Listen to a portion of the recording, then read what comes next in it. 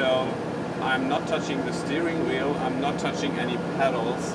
We're staying in lane, following the car in front of us. Increased in speed, so we're now driving uh, 55.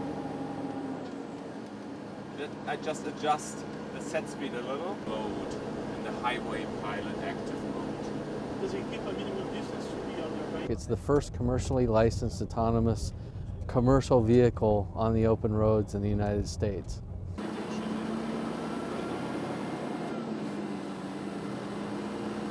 Uh, the driver is able to relinquish control of the, the steering of the vehicle, but he's still required to be behind the wheel of the vehicle in order to monitor the functions of the vehicle. So we're not going to full autonomous where we take the driver out of the driver's seat.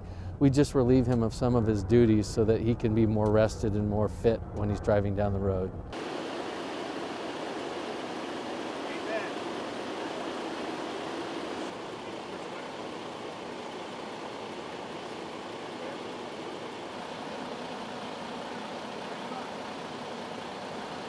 So really, the, the, some of the big benefits are one, driver driver fitness, driver uh, awareness. Uh, our studies have shown that you, they're about 25% less drowsy uh, when driving down the road in the highway pilot mode. Safety, um, we've got radars and sensors keeping the truck in the lane, so it's going to be improving the safety.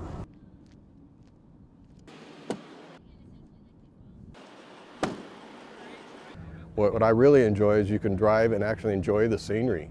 You're not tied to looking straight ahead all the time. Uh, very relaxing. Screen right now, it says overtake, it says take over control.